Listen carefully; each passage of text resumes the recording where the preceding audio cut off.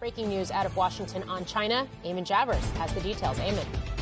Hey there, Morgan. The Biden administration is announcing a much more narrow than expected set of proposed rules around investment in China at this hour.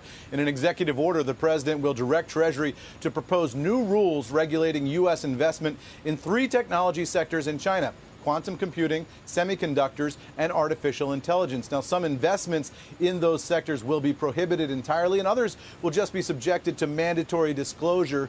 There will not be any new proposed restrictions outside those high tech sectors, though, and that's what makes this more narrow than many had expected, as someone Wall Street feared that restrictions could be coming on a much broader array of investment categories. A senior administration official uh, officials also said today they're considering exemptions for investments in publicly traded companies in China, which even more narrowly tailors today's move to the venture capital and private equity industries and the like. The reason for that, they said, is that the White House recognizes that the Chinese already have access to lots of money. What they don't have is know how, according to senior administration officials. And it's the intangible benefits that come along with private investments that can transfer know how, such as introductions to key experts, partnering with other portfolio companies, and that sort of thing that they're trying to get a hold of here. And while they were careful to say that they can't predict the Chinese reaction to today's move, they also revealed that Treasury Secretary Janet Yellen briefed Chinese counterparts on this move when she was in China in July.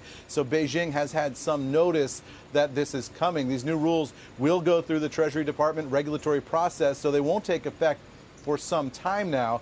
Uh, and Morgan, it's worth noting that the choreography uh, of all this is always intentional with the White House. We're not going to see President Biden doing a big signing ceremony here today. In fact, he's in New Mexico today where he's just given a speech about the economy, uh, not mentioning this detail. So you can get a sense that this is not something that the administration wants to have front and center in the headlines uh, out of the White House today, Morgan. Back yeah.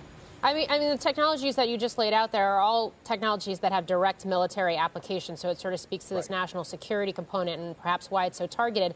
But but the the lack of commentary from President Biden that's expected this afternoon, the fact that this is narrower than had originally been anticipated, how much of that is a reflection of the fact that this administration has been looking to at least optically or at least rhetorically uh, ease tensions and reinstate some lines of communication with China?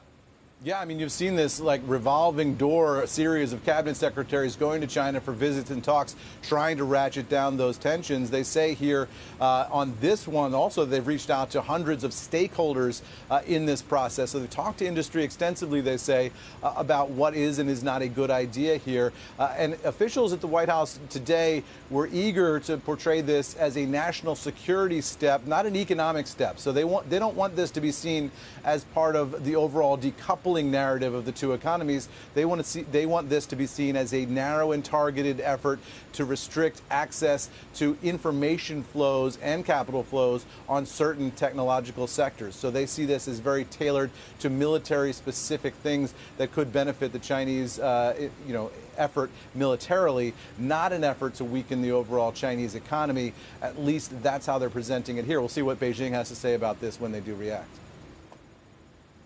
Yeah. Uh, very quickly, Eamon, just to confirm, this is only for new investments, right? Not existing? That's right. Okay. Yep. Eamon Javers, thank and, you. And private equity and venture capital are what they're talking about here. They say there might be a specific exemption for investing in publicly traded companies in China. That's still uh, TBD. A lot of this is still yet to be worked out. The regulatory okay. process will begin today.